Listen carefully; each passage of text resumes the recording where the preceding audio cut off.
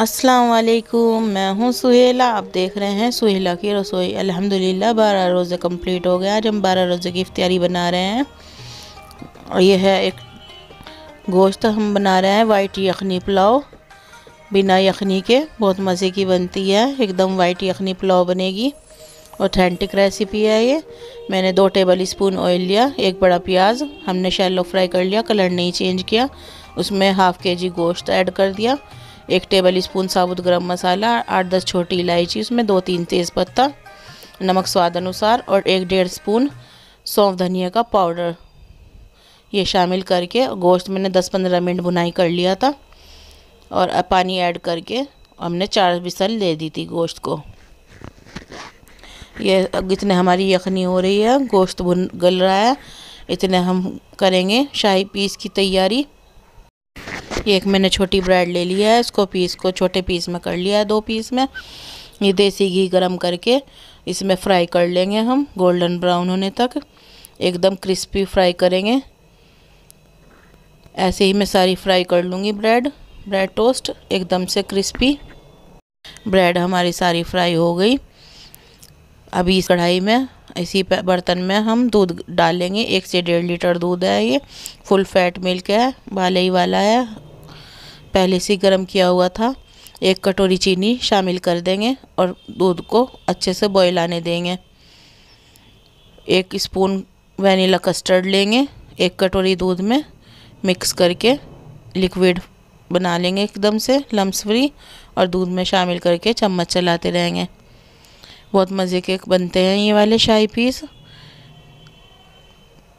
दूध को बॉयल आएगा। ज़्यादा हमें गाढ़ा नहीं करना है कस्टर्ड बस एक लिक्विड फॉर्म में बनाना है। और सारे टोस्ट हम उसमें लगा लेंगे बॉल में। और ऊपर से गरम गरम हम कस्टर्ड मिल्क डाल देंगे ऊपर से। गरम गरम डालेंगे ये मिल्क हम एकदम से। सॉफ्ट हो जाए। और बादाम से गार्निशिंग कर देंगे। सारा लिक्विड मैंने इसमें डाल दिया था।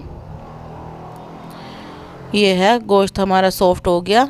एक पतीले में मैंने इसे ट्रांसफ़र कर लिया, चार से पाँच हरी मिर्च। और बुनाई नहीं हम करेंगे, हमने पहले ही कर ली थी जितनी बुनाई करनी थी, और नमक शामिल करेंगे चावल के हिसाब का। पानी इतना डालेंगे, एक इंच तक चावल नीचे डूब जाए। ये है ग्लैक्सी राइस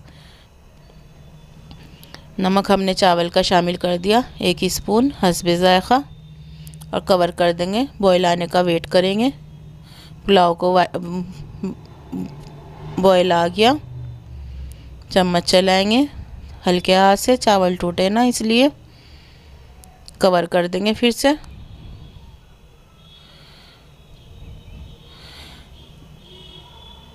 चावल को बॉयल आ गया फिर से। दम पे लगा देंगे। ऊपर नीचे कर देंगे पहले हम चावल को। एकदम खिले खिले चावल बनेंगे। ये मैंने कॉटन का कपड़ा लगा दिया है। बीस मिनट दम पे रखेंगे, सिम फ्लेम पे। चावल हमारे दम हो गए हैं। अल्हम्दुलिल्लाह। बारहवें रोज़े की इफ्तारी हमारी तैयार हो गई है। प्लेट में निकल, डिश आउट कर लेंगे।